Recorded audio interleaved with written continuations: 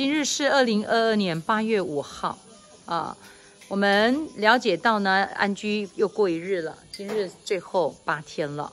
整个八正道，我们来学习学习宇宙浩瀚如此的宽大，就像我们人体里面它如此的深广不可思议。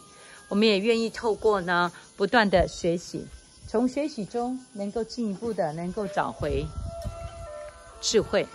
这个智慧在我们自身里面，就是要让我们。慢慢的从生命的起航当中带来更多的亲近了，所以我们看到整个大海里面所诠释的如此的圆满宽大，所以佛法就是要让我们学习宽大的心量。我们放大放诸于四海，都是在每一个当下能够成就。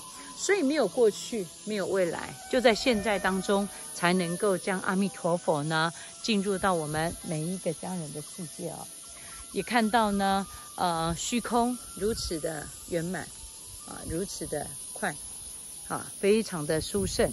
那我们今日会在这个地方重新呢汇集在一起，就是要了解到呢，因为佛法呢东传了，而且在这个时间有更多更多的效法。佛的精神就是一定要有一个真正的亲近的团队。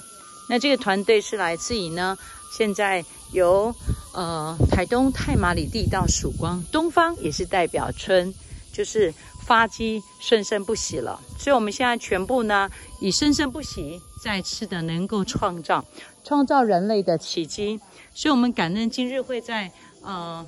台湾在台东太马里这个邻近的啊，已经呃让所有的人们更加了解的宽广的一个地方啊。这个宽广是代表代表我们人人本具足的，这个剧组是来自于我们只要愿意呢啊，打开我们的心，打开我们的心，就像这个太平洋的宽大啊。那现在这个时间，我们也是呃二十零灾。也就是透过呢，呃，日中一史，让我们学习如何呢，呃，感恩感恩这个，呃，五谷丰收，让我们能够在，呃，吃饭当中都能够感恩佛恩，在每个当下都感恩佛恩。我们透过所有的亲近的这些，呃，七众弟子，这边是属于比丘尼。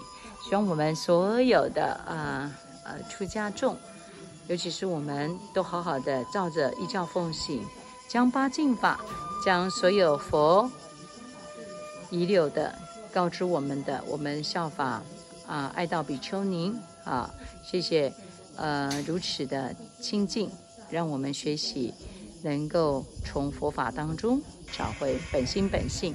我们更感恩，就是因为阿难啊特别请求。为所有的比丘尼请求，所以我们今日能够出家。